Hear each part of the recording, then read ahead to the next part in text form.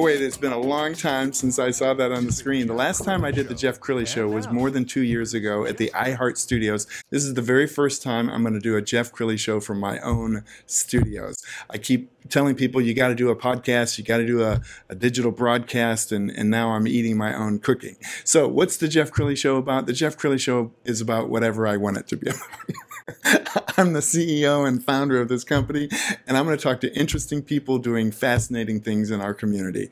And I got to tell you, I love the lights, the cameras. I mean, this feels like uh, Good Morning America in here. So, what are we going to talk about on the Jeff Crilley Show? What aren't we going to talk about on the Jeff Crilley Show? We're going to be talking to entrepreneurs. We're going to be talking to people from all different walks of life. We want to get to their story. That's what the Jeff Crilley Show is about. So, if you want to be featured on the show, go to realnewspr.com and just go ahead and send us a, an, an, email through the contact page.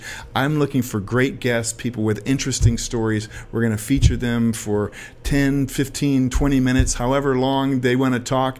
That's what this show is about. For those who don't know, I, I was a TV reporter for 25 years. The Barnyard concerts aren't good enough for Sean to cut a Christmas album just yet, but judging from the looks of the other animals, they sure seem to gobble it up.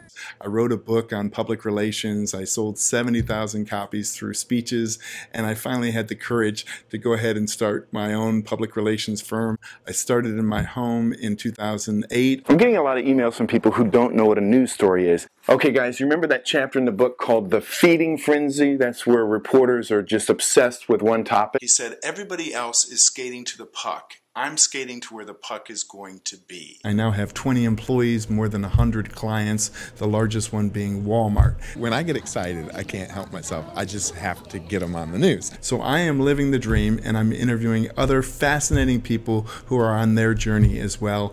And I cannot wait to relaunch this uh, iconic brand that started some two and a half years ago. We'll see you soon.